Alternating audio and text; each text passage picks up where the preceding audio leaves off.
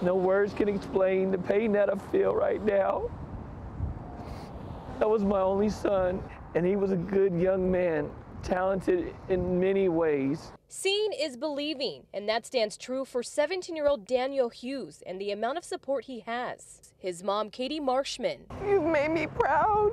reminds Daniel how special he is through the kind messages she shares from their community at his bedside. The love and support is helping us right now.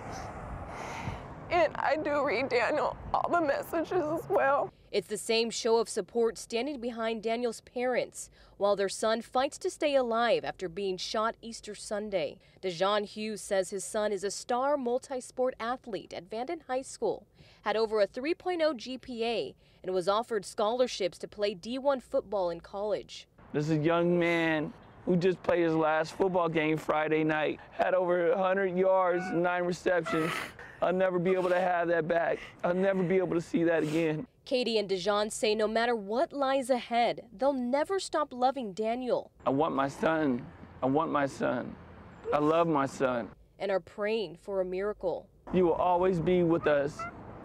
I will always and have always, and we have always, and our family has always, this community has always, and everybody who knows Daniel have always loved our son.